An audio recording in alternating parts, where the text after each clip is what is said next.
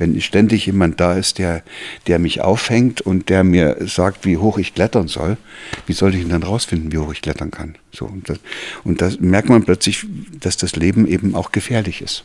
Und dass das keinen Sinn hat, immer so zu tun, als könnte man seine Kinder vor allem beschützen.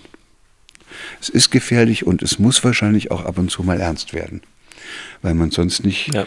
sich anstrengt. Wie soll sich denn ein Kind anstrengen, auf einem Klettergerüst wirklich diese, dieses Vertrauen zu entwickeln, dass es sich da auf eine Weise bewegt, dass es nicht runterfällt, wenn unten so ein dicker Teppich liegt, dass selbst wenn es runterfiele, ihm gar nichts passieren kann. Dann strengt es sich halt nicht an.